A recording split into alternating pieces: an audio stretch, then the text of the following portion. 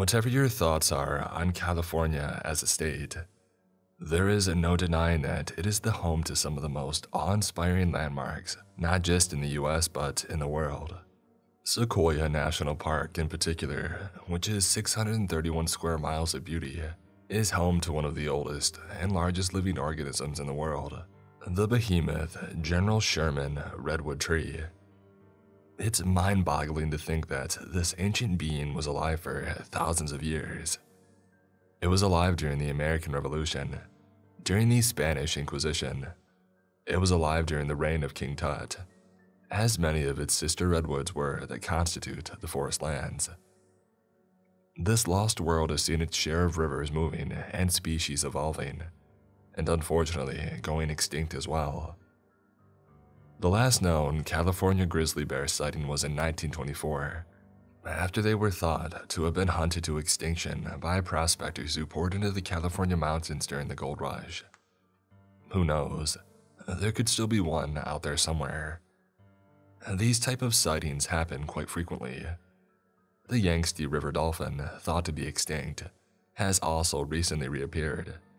Beyond the California grizzly bear and the Cyclopean redwoods, I believe there is something else in those mountains.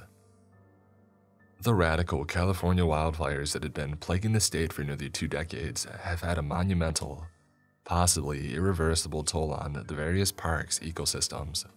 While most fires are natural and sometimes necessary, they have been getting more pervasive and out of control. However, there is another cause which is much less talked about over the years, people have been pushing more and more into the California wilds, not only creating infrastructure which gives fuel to fires, but carelessly causing them as well. Just some of the causes of the wildfires range from vehicular sparks to faulty power lines and so on. As a result, animal populations have begun to flee their homes and push back into towns and cities, occasionally resulting in attacks. The craziest stories of animal attacks weren't coming from those that wandered into town though.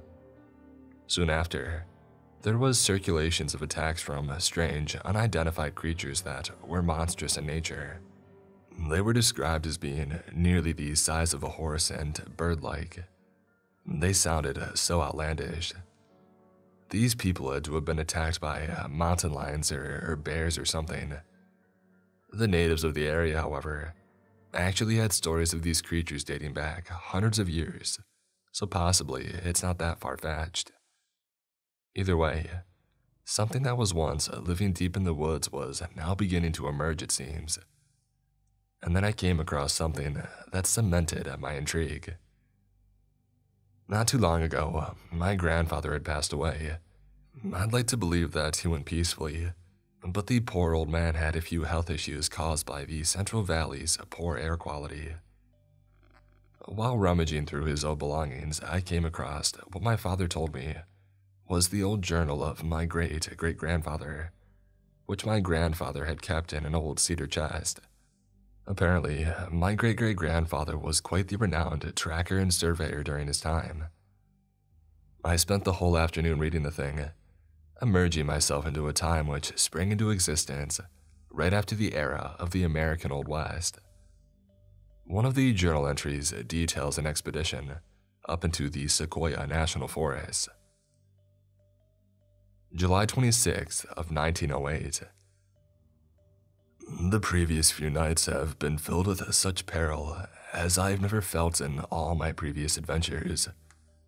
We have come up into the Sierra Nevadas my colleague and I, Mr. Jim Foxhart, for a very peculiar job sanctioned to us by the state of California. The state is beginning a more aggressive expansion into these foothills, which were once occupied by the Monochi.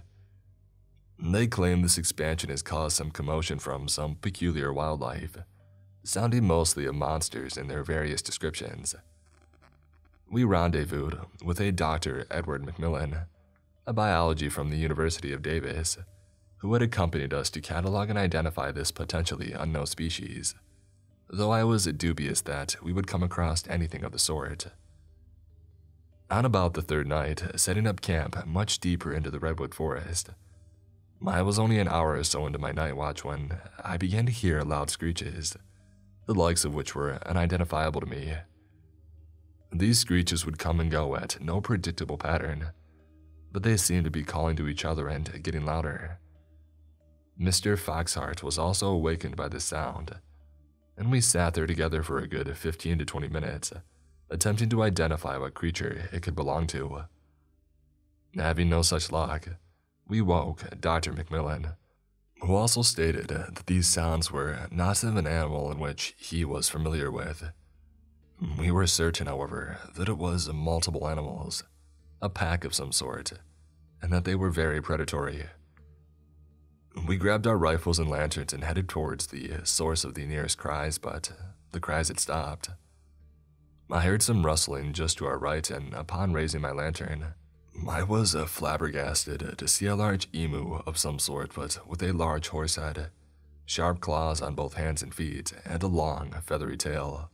Its eyes glistened in my light, and though I only caught a quick glimpse of it, I could see that it was a beast almost the size of a horse. The animal quickly darted off with great speed. The other two men were just as puzzled as I am. Though Dr. McMillan had said that what we had just seen looked very much like a species in the Dromaeosauridae family, a species of dinosaur. We tracked them down for about a mile, but the further we pushed away from camp, the more that we began to hear loud screeches, to which Foxhart agreed, sounded very much like warning cries. Evidently, we were pushing into their territory deep into the forest. We lost track of the creatures and the calls subsided. We spent another couple of weeks in the forest, but after that night, made no further contact or found any relevant traces, and so decided that this pack must have moved deeper into the forest to avoid human contact. I had never really been a big believer in cryptids like Bigfoot or the Loch Ness Monster. Sure, it was amusing to watch those documentaries on the Discovery Channel, or those videos on YouTube, but I always felt that there were other explanations for what people had encountered. This connection, however, was just too tantalizing. There was no way it could be exactly as everyone had described it. Where could it have been hiding all these years? And besides, it had been a while since I had just gotten away back to nature. Not that I needed uh, such an excuse. After an exhausting few months of work and school, balanced my brain was on autopilot.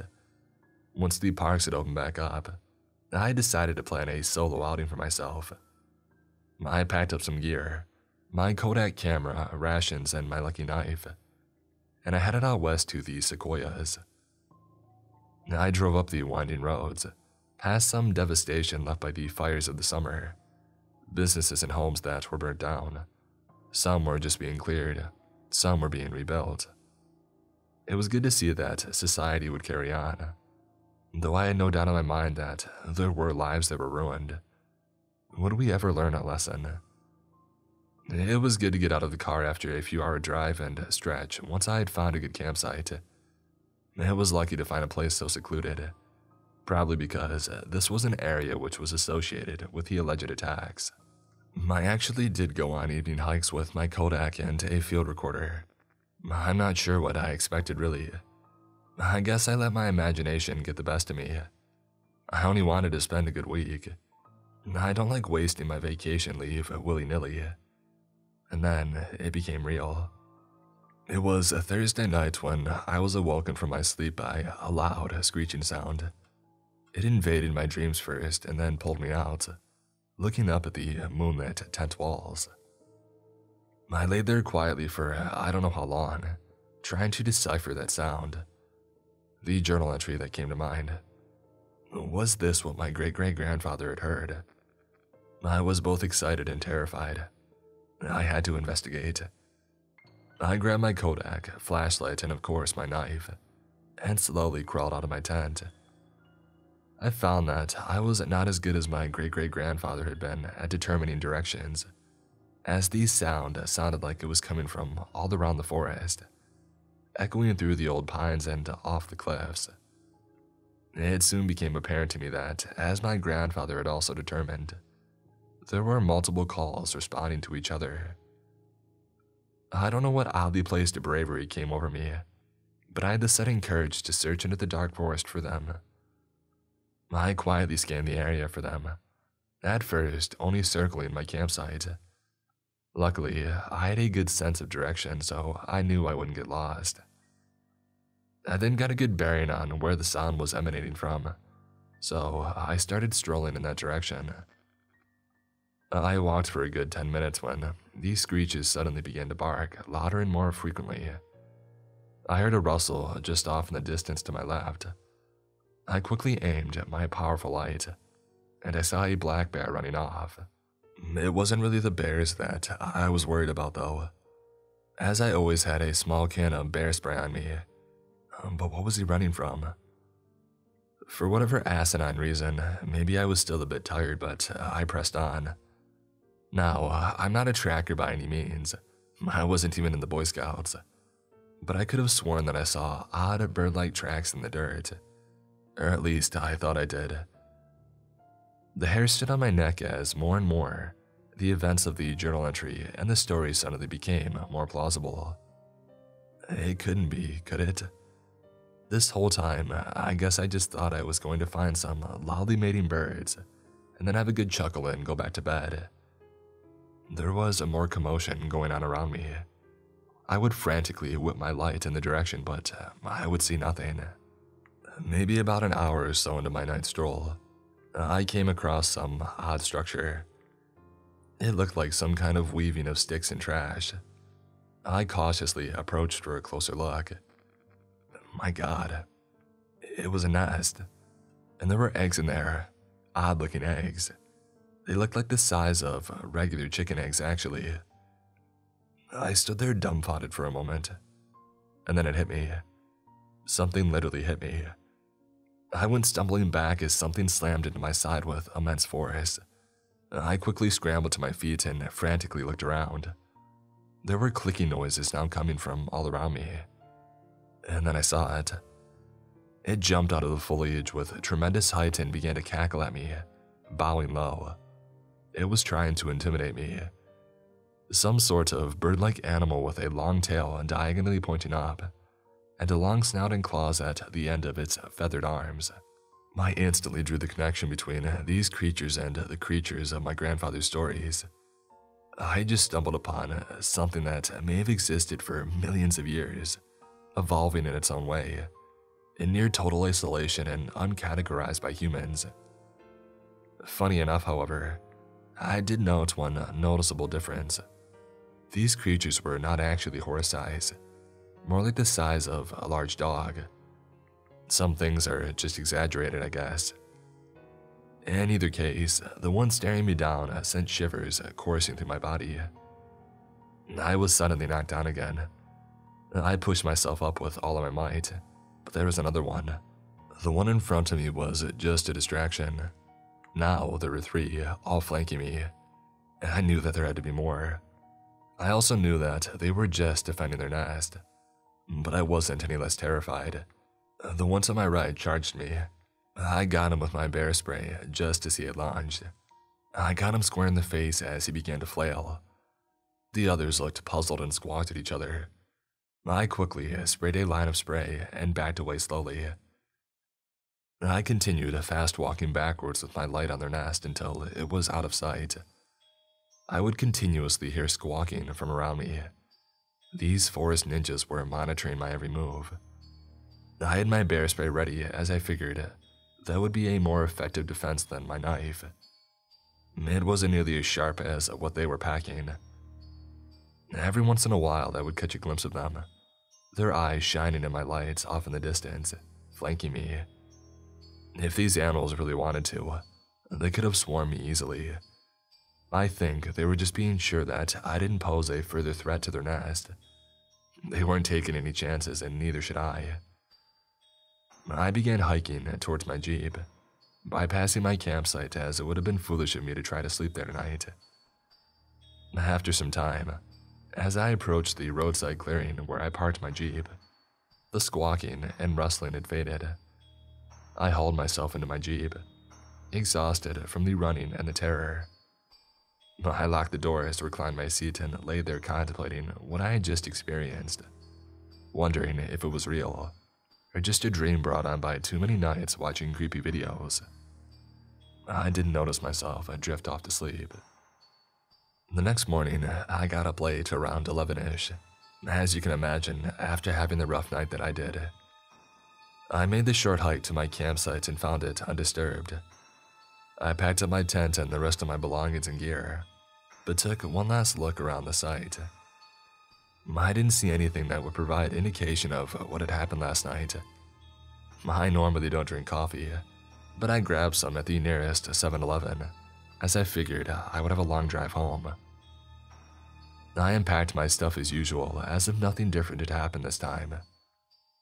I don't know what I was expecting. Maybe it was a dream. Heck, I didn't even think to use my camera or my field recorder. Dang it. As I was unpacking my backpack, however, I noticed something that was caught to the back strap. It was a feather. A large feather.